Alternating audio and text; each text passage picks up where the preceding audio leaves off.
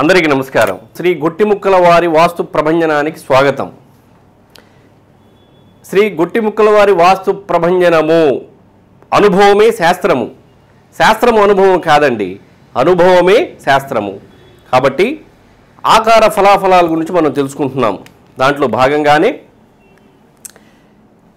ఇటువంటి ఆకారం గల భూమి దీనిని దండాకారం అంటారు.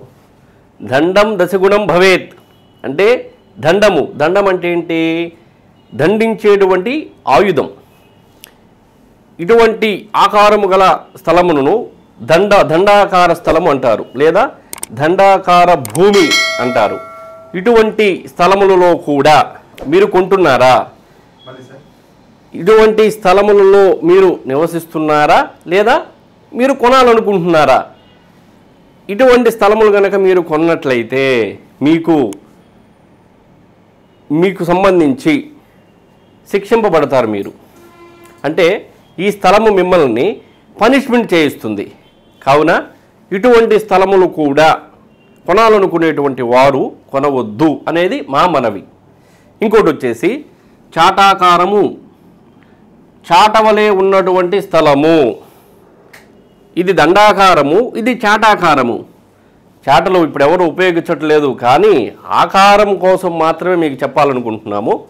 ఇటువంటి స్థలంలో కూడా ఆగ్నేయం పెరిగింది ఈశాన్యం పెరిగింది నైరుతి తగ్గింది వాయువ్యం తగ్గింది. కాబట్టి ఇటువంటి స్థలములు కూడా గృహ నిర్మాణము చేయుటకు కానీ నివసించుటకు కానీ పనికి రావు ఇలాంటి స్థలములలో మీరు నివసిస్తున్నట్టయితే ఈ స్థలములు మీకు పనిష్మెంట్ చేపిస్తాయి. కావున ఇటువంటి స్థలములను మీరు కొనవద్దు. కొన్నా కూడా ఈ స్థలాలను వాస్తురీత్యా మార్చడానికి అవకాశం ఉంది. అది ఎవరికి సాధ్యపడుతుంది? నిష్ణాతులైనటువంటి వారికి మాత్రమే సాధ్యపడుతుంది. అంగుళము నుండి అడుగు వరకు. దిక్కుల నుండి విదుక్కుల వరకు పూర్తి విశ్లేషణ ఉన్నటువంటి పండితులకి శాస్త్ర అనుభవజ్ఞులకి మాత్రమే సాధ్యపడుతుంది.